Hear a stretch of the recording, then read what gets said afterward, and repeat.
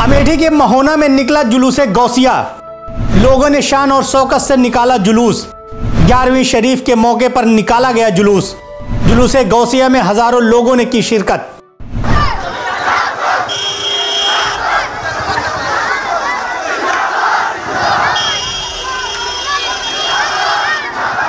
आप जो ये नज़ारा अपनी स्क्रीन पर देख रहे हैं, ये अमेठी के महोना पश्चिम में निकला जुलूस गौसिया का खूबसूरत मंजर है। जिसमें हज़ारों लोग अपने हाथों में इस्लामिक झंडा लेकर शेख अब्दुल कादिर जीलानी रहमतुल्ला ताला जिनको लोग बड़े पीर के नाम से भी जानते हैं, उनका जश्न विलादत बहुत ही अकीदत के साथ मनाया जा रहा है।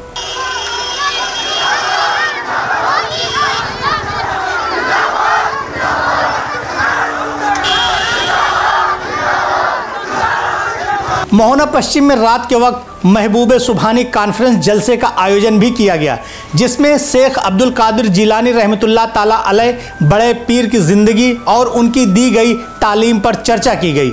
साथ ही नातिया कलाम पेश किया गया। कॉन्फ्रेंस में मौलाना सैयद मिराज अशरफ, मौलाना साकिर, मौलाना सईद रेहान सुल्तान, तस्लीम कौसन ने शिरकत की।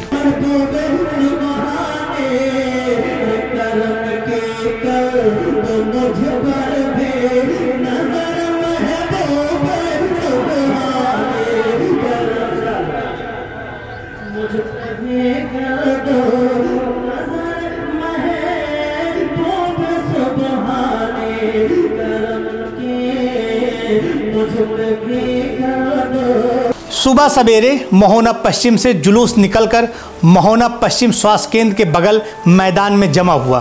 जहाँ पर हज़ारों लोग मोटरसाइकिल और पैदल जुलूस में शामिल हुए। उसके बाद ये जुलूस बाज़ार और सड़कों से होता हुआ अहमद अली शाह के दरगाह पर पहुँचा, जहाँ पर लोगों ने देश में खुशहाली, अमन, चैन के लिए दुआ मांगी।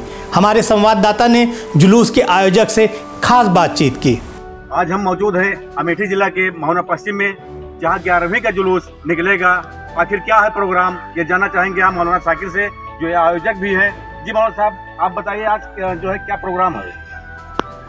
आज जो है ग्यारहवीं शरीफ के मौका पर जमात रजाय मुस्तफ़ा की जानब से अजीम शान पैमाने पर जुलूस गौस आज़म रदी अल्लाह तन अभी फ़ौर निकलेगा।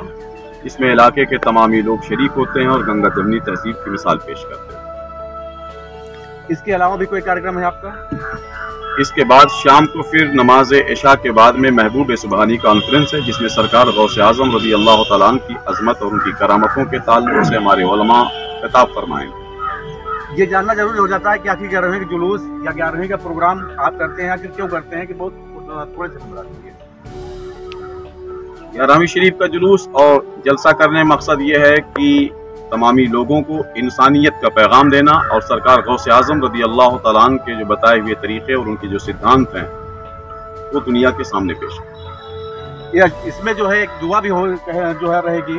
तो ऐसी कौन सी दुआ जो है आप आज जो है जो है लोगों से दुआ करवाएँगे? इसमें हम दुआ ये करवाएँगे कि हिंदुस्तान की तरक्की के लिए अमन और शांति के लिए भाईचारा के लिए यही सबसे बड़ा पैगाम है और ये सरकार गौस आज़म रदी अल्लाह तला का पैगाम है और ये हमारे जलसे और जुलूस का भी ये पैगाम है। जैसा कि मौलाना साकिर का कहना है कि सद्भावना को लेकर जुलूस निकाला जाएगा मुल्क की खुशहाली के लिए दुआ की जाएगी। अमेठी न्यूज़ टाइम नेशन के लिए मोहम्मद तौफीक।